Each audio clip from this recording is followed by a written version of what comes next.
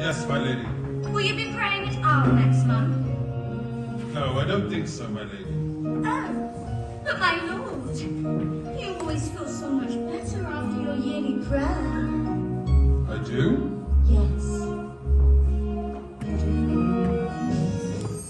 I sought out Pippin. Your father loves you, Pippin. Freedom and dignity is more important than love between one father and one son. Still, your name will be on his lips when he prays. At Arles, next month. Alone Alone? and unguarded. What date? The 15th. Pippin, I beg you to bring this estrangement to an end. I intend to. May I tell your father of this resolve? No.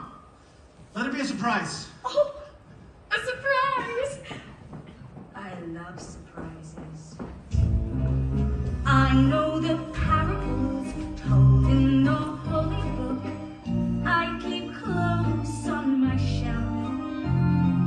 God's wisdom teaches me when I help others, I'm really helping myself. And now I will perform a brief dance to express my deepest sorrow for my hubby's impending doom.